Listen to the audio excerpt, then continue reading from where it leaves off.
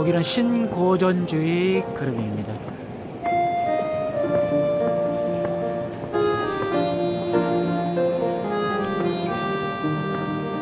아, 여기 작품들은 고전주의의 그 뿌리를 두고 있는 작품이 되겠네요.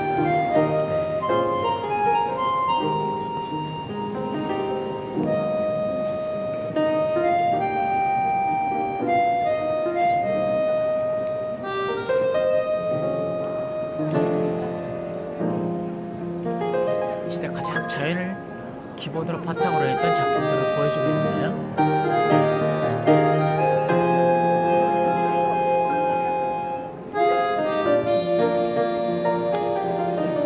인간 속에 소우주가 있다고 생각하는 그런 그림의 유포를 보여줍니다.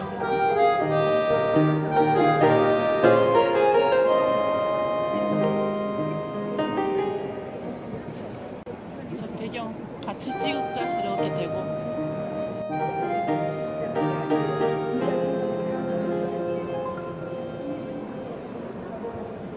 서양에서 이렇게 중요하다고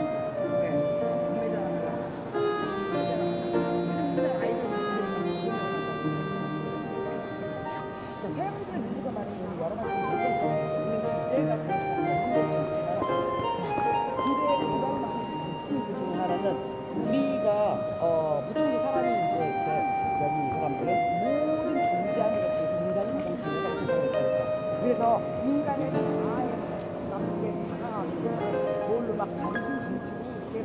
容易很